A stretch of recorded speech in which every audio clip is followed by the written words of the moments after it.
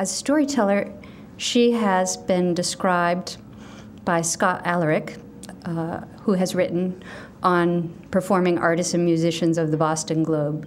She's been described as entrancing, and that is a, an important and powerful word for Norah Dooley. Norah shares stories and does truly entrance in many places throughout in our country and other countries. In fact, uh, recently just coming from Japan.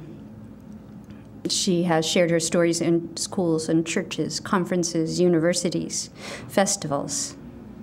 She's the co founder of MassMouth, uh, organization for sharing stories in the Boston area. And she also works and is founder for a curriculum based program for high school storytelling initiative. You can see information on both of these on the MassMouth website.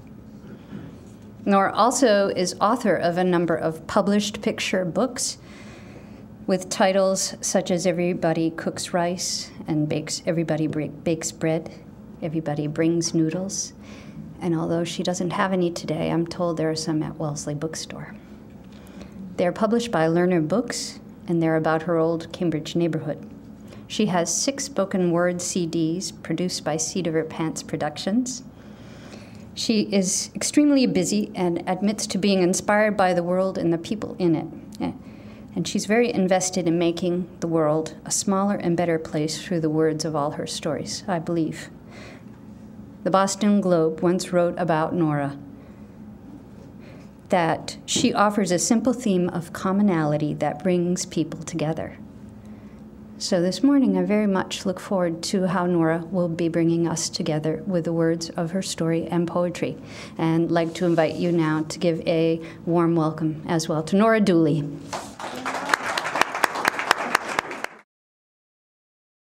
So I decided to do something different because this is a po- there's poetry and I actually write poetry. One of my favorite quotes about writing poetry comes from The Reluctant Dragon by uh, Kenneth Grahame. And there's this dragon that refuses to fight, and this little boy finds him and he says, Well, you're just useless. I mean, you play the flute, you like to smell flowers. Don't you do anything desperate? And the dragon says, Well, I do write poetry. so,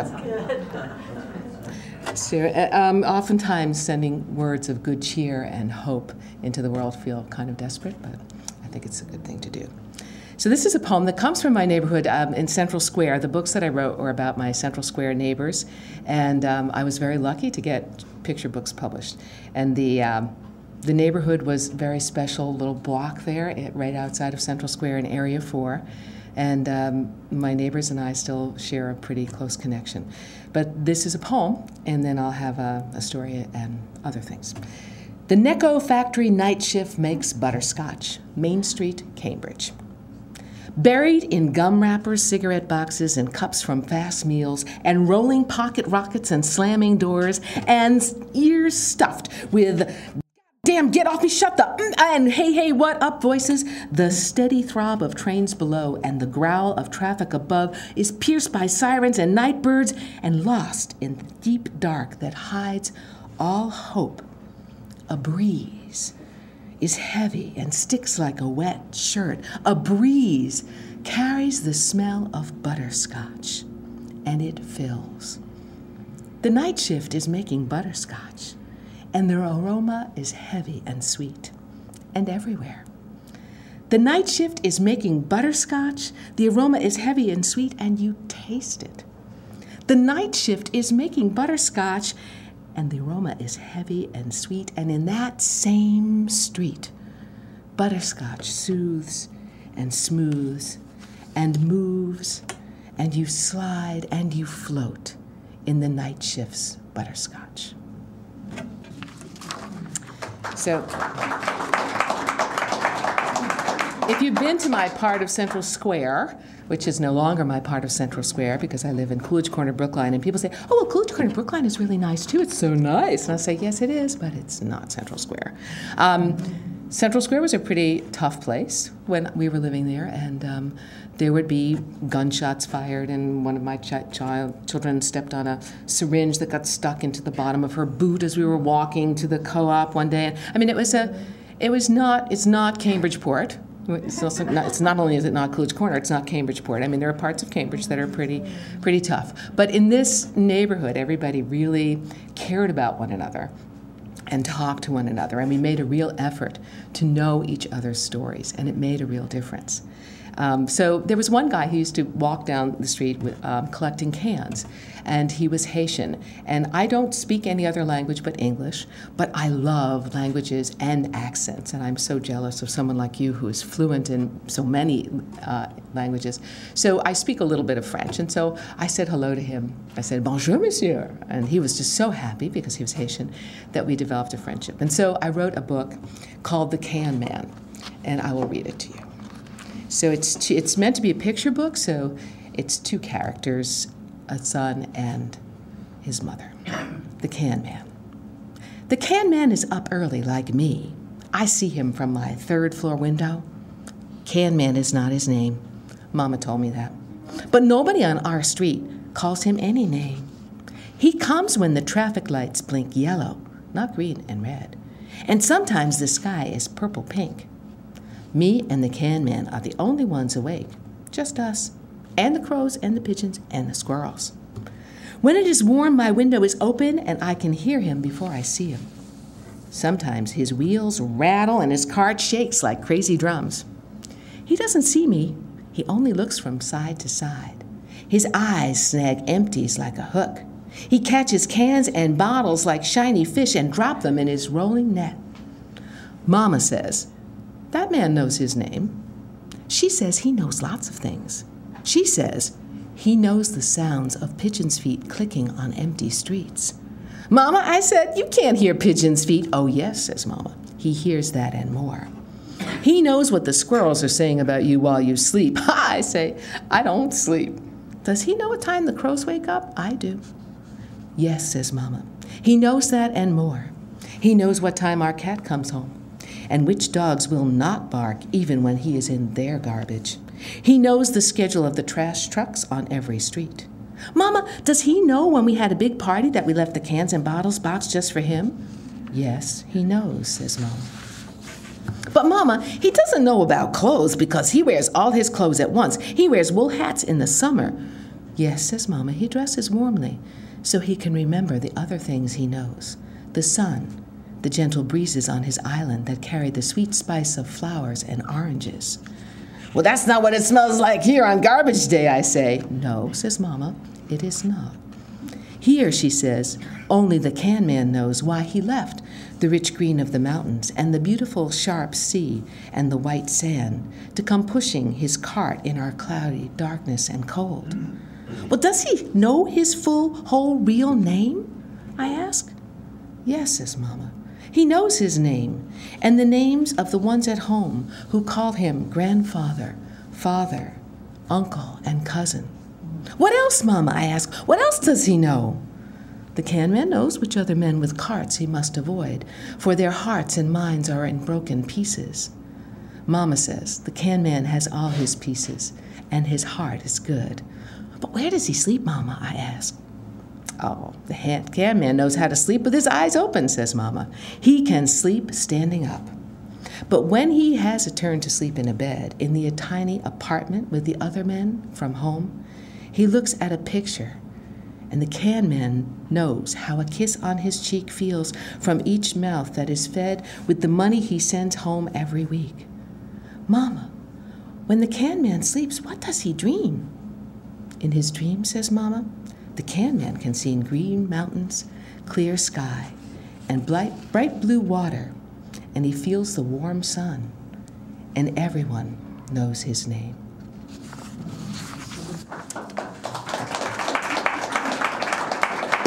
So that is, um, I, I, have four published pictures book, picture books, and that's one that I have been sending out and getting rejections on. And I got um, getting picture books published is so desperate these days. Makes poetry look right damn good, you know. Um, this is one that I've gotten good rejections, and a good rejection is when someone actually reads it and writes back and says, "I liked it," yeah. and I'm sending it to someone else, you know, but didn't get published. So, um, this next story is a story about where I'm from and my family. It's a story about my brother. And I have a little introduction to it, which is a, a verse from a poem by Bob Franke. You might know him, a, a singer songwriter from up your way, from Marblehead, actually. For real. There's a hole in the middle of the prettiest life, so the lawyers and the prophets say. Not your father, father, nor your mother, nor your lover's gonna ever take it or make it go away. And there's too much darkness in an endless night to be afraid of the way we feel. Let's be kind to each other, not forever, but for real. My brother and I live in the same city. But even so, not many people who know me now have met Keith, which is not his real name. The voices do not let him go out much. The voices, the evil wizards, the voodoo have been messing up his life for 40 years. Just recently, after banking, shopping, and stopping in a Dunkin' for a celebratory car, coffee near his group home, Keith said, Let's make it quick. I'm getting hit by the voodoo really bad. Now, I have never seen Keith's Wizards, but I have seen their work, and I am a believer. When you have a brother who looks like Charles Manson on a bender, it's easy to believe in the power of his easy, evil wizards. You may know these wizards by their other name, their clinical name, schizophrenia. It's an awful disease. In the wake of its ongoing devastation, it has become harder and harder for me to see the human being in the shell that Keith inhabits with all those jokers. Well, this day was different. First of all, Keith called me to say he didn't want help. Well, that was weird because he only calls when he wants help. But it was lucky because I was tired and not into being that good daughter who promised her dying mother she'd take care of her brother. I'll take care of him, don't worry. So I hung up thinking about all the things I could do with my morning instead of driving practically to Dedham and back. And the phone rang again just as I sat down. Keith had decided he could go out after all. The Shaws, less than a mile from his group home, had a branch of his bank in it, and if I could wait, he would shop a bit too. So I drove out to Dedham and picked him up around 10 a.m. He had remembered that I missed the entrance to the shopping center the last time we stopped, and it surprised me again what he knows and doesn't know. I would have driven right by it and missed it. Can you park a little closer to the store? He said as we pulled in. I feel a bit unsteady on my feet. I worry about all the meds they give him, but he was fine. Keith gets an SSI check, and most people in his situation would have the group home be the rep payee. But Keith and we have been suspicious of the bureaucracy and traded convenience for autonomy. We are my younger sister and I. We are Keith's legal guardians. And between the wizards and the voodoo, the house rules, his treatment plan, the 12 medications he takes daily, there is damn little Keith controls. So we let him handle his money. Usually, Keith smells bad. Today he didn't. That was different. Sometimes he's overcome by all the medications he takes and he falls so deeply asleep that he pees himself. On bad days, the voodoo or the wizards insist he takes dry showers. This is an invention of Keith's, which allow him to be in compliance with his hygiene plan, keep the voices happy, and not get wet. I know, I know. Mother Teresa, and I did write this before I heard that. Mother Teresa wouldn't trash talk my brother this way, but and I'm no saint but nor am I shy or easily embarrassed. But I will admit that shopping with Keith is anxiety provoking. When we're out together, I'm always afraid that someone will be freaked out by his appearance and either ridicule him or, out of fear, be openly hostile and attack. Keith has a vocal tic, which sounds like he's growling or revving an engine. Every two minutes or so, he growls, and then he shakes out his arm and pulls his shoulder length hair from his face to back behind his ears. He has a very deep voice, and he lost all his teeth but rarely wears his dentures. And he talks back to the voices sometimes and converses softly but audibly. And without his glasses, he's legally blind, but he doesn't wear them anymore, so he stares and blinks and leans in to see. People are visibly shocked when they notice him. Some people like to laugh about my brother's food habits when they see him shopping, and I grant you, one person pushing a cart full of 40 pounds of cheese, three gallons of ice cream, and six bags of Doritos is curious. The thought of one person eating all of that, astounding. But I am sure no one wants to have the hole inside their life that Keith is trying to fill with all that junk or his chronic constipation. Perhaps some are a bit jealous because even with his high caloric, heart stopping, cholesterol laden diet, Keith is not overweight. But that's all it would have. What I want to tell you is what I saw that day. Keith was waiting in line to get a cashier's check to pay his rent when a woman in her early 60s rolled up and proceeded to steal the Who is the Craziest Person in This Line title right out underneath our noses. Now, even with his six foot tall frame, scary ticks, full beard, this little lady with a small shopping cart and a huge voice was giving Keith a run for his money. She did not or could not modulate her voice. She was loud and whiny and getting very agitated about the wait. The line was long and not moving. She huffed and she sighed. She stuck out her little hair covered chin and wagged it. She slapped her cart with her bank book. She complained that the line was too long. Why was the line so slow? She just needed to get her check cashed. Nobody cared. Nobody cared. She had medications to get. She just needed to get her check cashed. She needed to get her check cashed. And there was a hurricane coming. There's a hurricane coming. We gotta hurry. We gotta hurry. She just needed to get her check cashed. She just needed to, she had to stop. And people in the line shifted uneasily. They all looked away, some in disgust, some were embarrassed for her, and some in fear. But Keith turned to her and said, Don't worry, the storm is gonna miss us. It's not supposed to be so bad. Well, this only ramped up her anxiety, and she started in on me after I seconded Keith's report. Well, Keith didn't notice her reaction. He had gone on to ask a teller if he could sit down and wait, and I stepped out of the line and the line of fire. Gosh, she was just not letting up. But I also needed to take a moment, because that kind gesture of Keith's had made me tear up. Given all that he struggles with, he had heard her distress and reached out to help. All the normal people were taking cover. Yet Keith had responded. It was such an Adelaide thing to do. Our mother, Adelaide, had taught us that everyone was, in fact, our brother, and that we were all our brother's keepers. So that day was different. Deep down, struggling with the wizards and the voodoo, the essential and genuine Keith was still there. Yo, bro, it's nice to see you.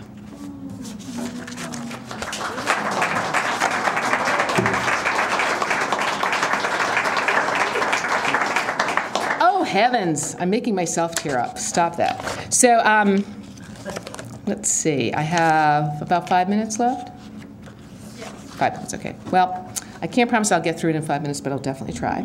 And I, that's kind of uh, ironic because one of my jobs in our story slams is to make sure that everybody keeps to time. Anyway, um, this is a story that comes from my childhood, and it's about uh, our family and being bullied. Our name, Dooley, was always a trial. Duty, duty, duty. Oh my God, there's a duty. Oh, look at that. You know, back when I was in school, duty was a big bad cuss word, right? You know, you could, you could pretty rough and tough. You call somebody duty. But oh, Henry was not the worst, and he was not the biggest. He wasn't certainly even the toughest, but he was the most persistent of all the bullies that bullied my older brother, my sister, and I.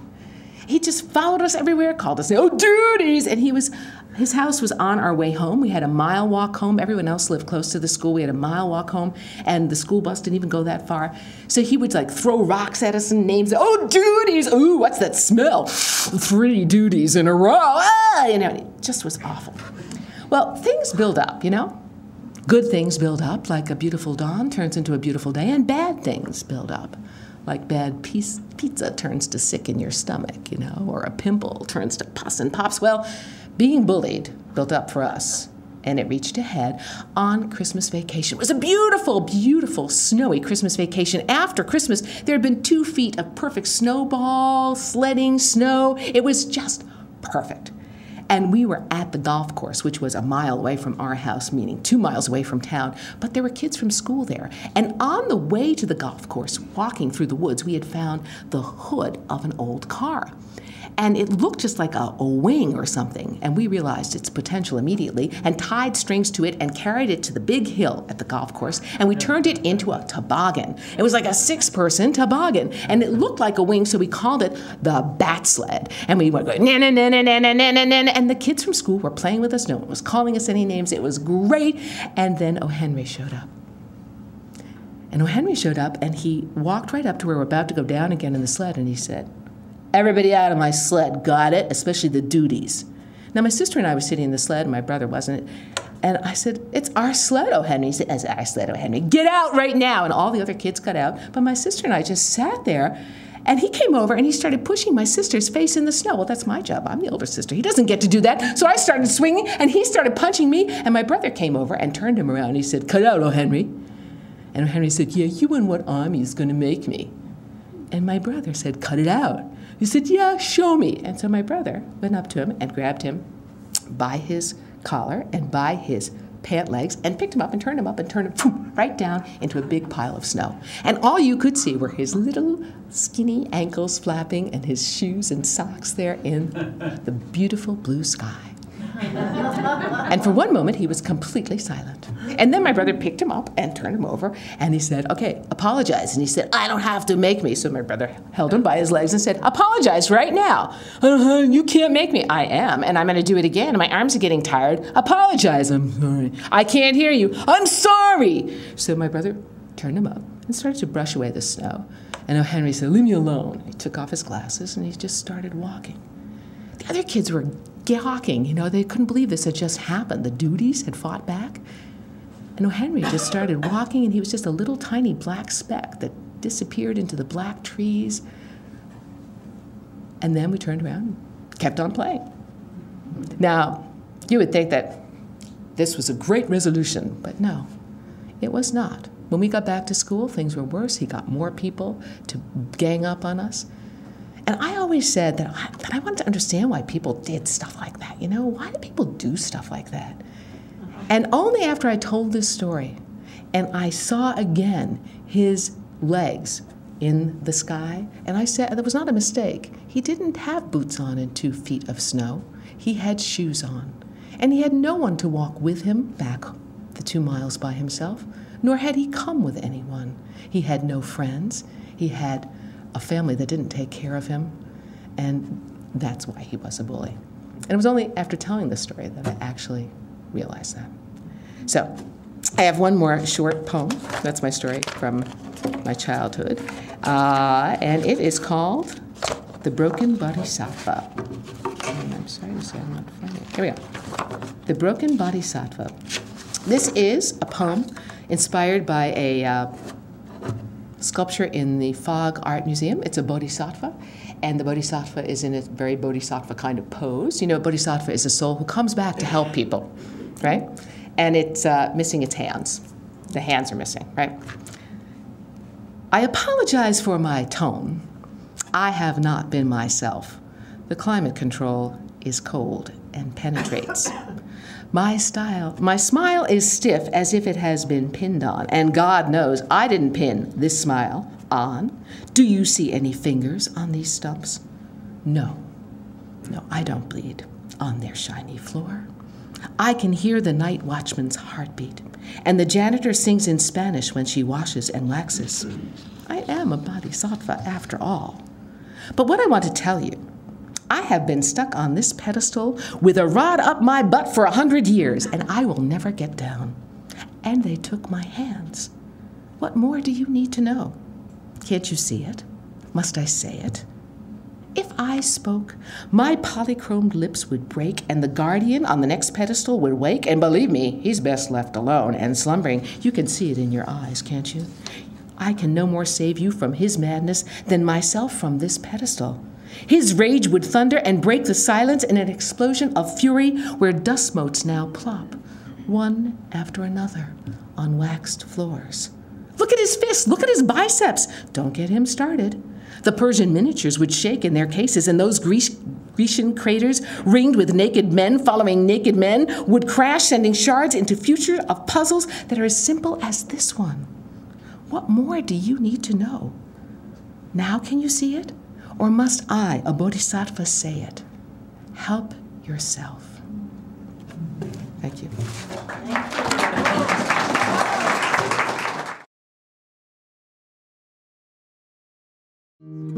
Driving on my way to my monthly trimming. How many haircuts till I die? My body aches and my eyesight's dimming. How many haircuts till I die? In twelve years I'll have lived as long as my mother did. How many haircuts till I die? Shall I keep this too or go for another lid? How many haircuts till I die? Car's gonna be my last one. How many haircuts till I die? It's gonna be red, and it better be a fast one. How many haircuts till I die? Danny's only seven years younger. How many haircuts till I die? What'll I do when he cuts no longer? How many haircuts till I die? Women, can you relate? When should I move down till I die? It's warmer there and it's near the water. How many haircuts till I die? I'd bake cookies and I'd spell the nanny. How many haircuts till I die? But I'd have to leave my dear old Danny. How many haircuts till I die?